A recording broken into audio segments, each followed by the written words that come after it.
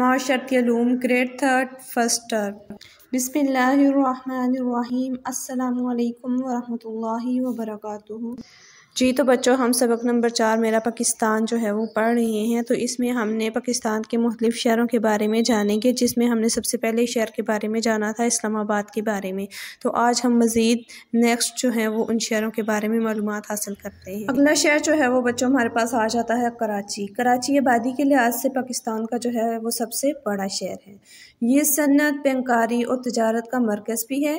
पाकिस्तान का सबसे बड़ा और मसरूफ़ तरीन हवाई अड्डा जना इंटरनेशनल एयरपोर्ट कराची में वाक़ है। कराची में बंदरगाह भी है, इसे रोशनियों का शहर भी कहा जाता है।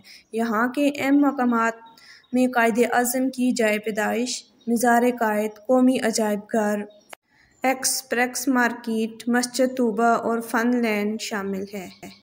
कराची के मशहूर मकाम में से हमारे पास ये तस्वीर में आपको नज़र आ रहा है क्लिफ्टन है, मस्जिद तूबा है और कायद अज़म की जाए पैदाइश है।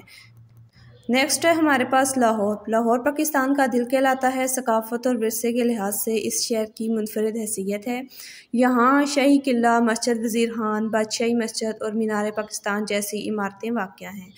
हर साल हज़ारों लोग इस अमारात की सैर के लिए यहाँ आते हैं। लाहौर में बड़ी तादाद में कॉलेज और यूनिवर्सिटियाँ भी मौजूद हैं। ज़िंदगी से भरपूर इस शहर में कई पार्क, रेस्टोरेंट और शॉपिंग मॉल पाए जाते हैं। यहाँ रोज़ाना वाघा बॉर्डर पर परचम उतारने की तकरीब लोग, लोगों को मुतवजा करती है।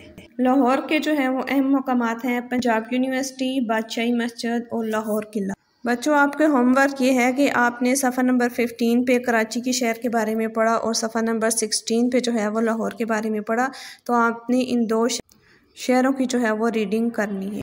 इसके साथ ही आपके पास ये सरगर्मी है जो सॉल्व की हुई है, आपने किताब के ऊपर ही इसको सॉल्व करना है।